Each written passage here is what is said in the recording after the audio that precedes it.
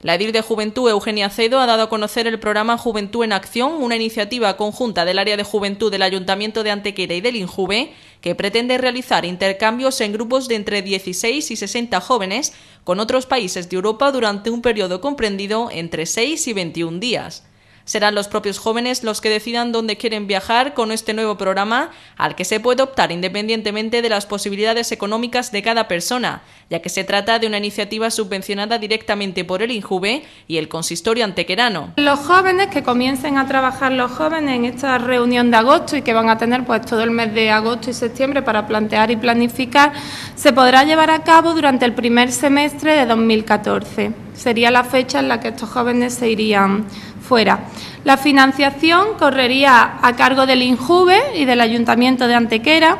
con un tanto por ciento muy bajo para los jóvenes, con el fin de adquirir un compromiso por parte de los mismos y que no haya bajas injustificadas que impidan que otros jóvenes puedan disfrutar del programa. Los fines de este intercambio, vuelvo a repetir, pues son dar a los jóvenes la oportunidad de viajar al extranjero, de que conozcan a jóvenes de otros países con diferentes realidades sociales y culturales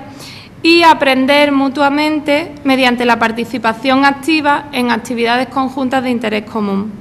Estos intercambios pues, van a permitir que los jóvenes antequeranos vivan en Europa y se sientan ciudadanos más europeos. El encuentro para dar a conocer esta propuesta a los jóvenes de entre 13 y 30 años que deseen participar será el miércoles 14 de agosto a las 11 de la mañana en la Casa de la Juventud. Además, para todas aquellas personas que no puedan acudir a la reunión, pueden informarse a través de los correos cija.antequera.es o juventud.antequera.es. Asesoramiento de la Asociación Juvenil Intercambia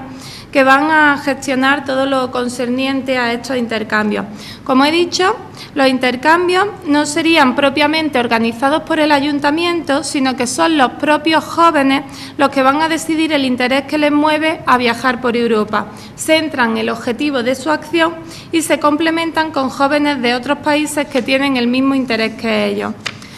para ayudarnos, porque diréis, bueno, aquí podemos decir que un grupo de jóvenes pues quiere irse a Europa a trabajar temas de medio ambiente, pero ¿cómo localizamos en qué otro país o en qué otra ciudad hay jóvenes con los mismos intereses? Pues existe una base de datos con esos grupos que se presentan y que también en este sentido pues nos ayudará la Asociación Intercambia para realizar esos contactos con otros países europeos para poder llevar a cabo estos, estos intercambios. Los proyectos que se pueden presentar, como digo, son múltiples de cualquier área, de cualquier temática. El plazo de solicitud es hasta octubre de, este año, de 2013.